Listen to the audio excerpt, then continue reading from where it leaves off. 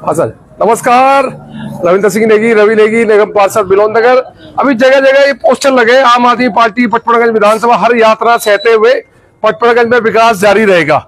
ये शराब मंत्री, शराब के दलाल, जिन पे आरोप तय लगभग होने वाले इनको हाई कोर्ट जमान जमानत नहीं दे रही, लोअर कोर्ट जमानत नहीं दे रही, सुप्रीम कोर्ट जमानत नहीं दे रही। सब पता चल गया है पूरे देश को, पूरी दिल्ली को, कि शराब के ठेकों में जो दलाली खाई, उस दलाली की मलाई खाई इन लोगों ने।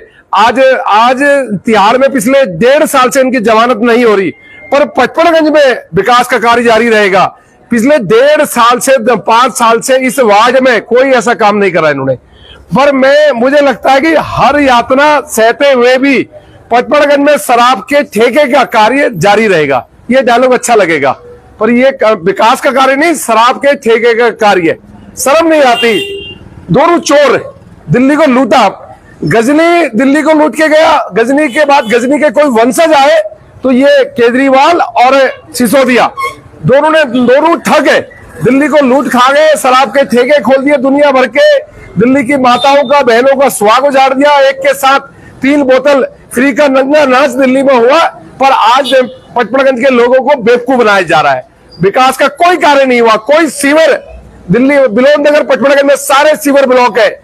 जहरीला गंदा पानी आता है। सड़कें टूटी हुई है। बरात घर नहीं है। चारों तरफ़ अफरा तबरी है। सुबह उठते ही गंदा पानी से सामना करते हैं।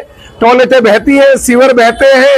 जगह जगह बुरा हाल है। पर विकास का कार्य करेंगे। बेवकूफ़ बनाना कम करें। शराब के दलालों